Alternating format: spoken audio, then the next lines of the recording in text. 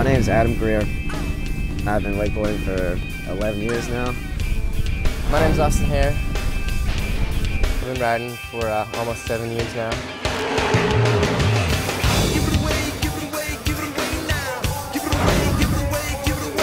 Today was a really unique day because we got to work with professional racers, Kevin and Eric.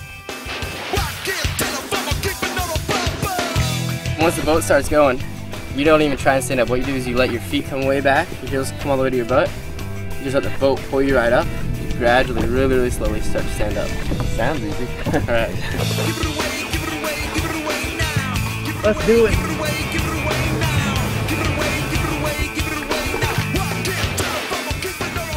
I never claimed to be good at this. They make it look easy. 10 minutes to get my get my board on it. Come off in three seconds. Obviously, from watching me, I didn't learn very much, but uh, it's, I don't know, it's fun. Kevin, I know this is your first time wakeboarding, so we're just gonna run through the basics with you real quick. Ready.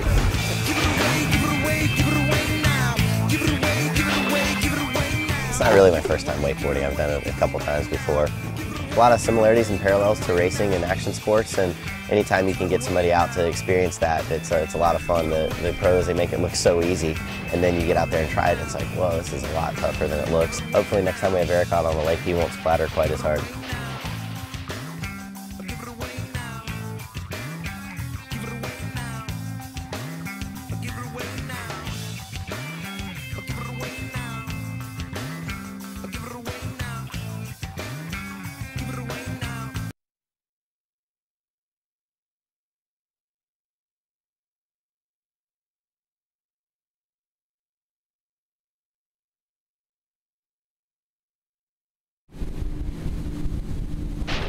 My name is Adam Greer.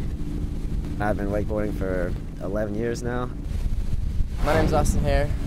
I've been riding for uh, almost seven years now.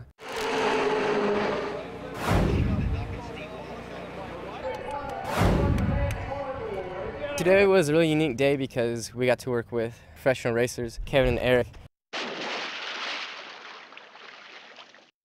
Once the boat starts going, you don't even try and stand up. What you do is you let your feet come way back, your heels come all the way to your butt. You just let the boat pull you right up. You gradually, really, really slowly start to stand up. Sounds easy. Alright. Let's do it.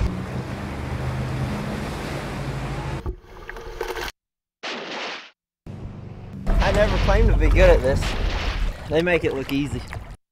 10 minutes to get my get my board on it. Come off in three seconds. Obviously, from watching me, I didn't learn very much, but uh, it's, I don't know, it's fun. Kevin, I know this is your first time wakeboarding, so we're just gonna run through the basics with you real quick. Ready.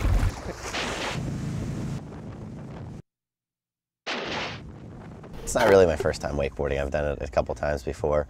A lot of similarities and parallels to racing and action sports, and anytime you can get somebody out to experience that, it's a, it's a lot of fun. The, the pros, they make it look so easy, and then you get out there and try it, and it's like, whoa, this is a lot tougher than it looks. Hopefully next time we have Eric out on the lake, he won't splatter quite as hard.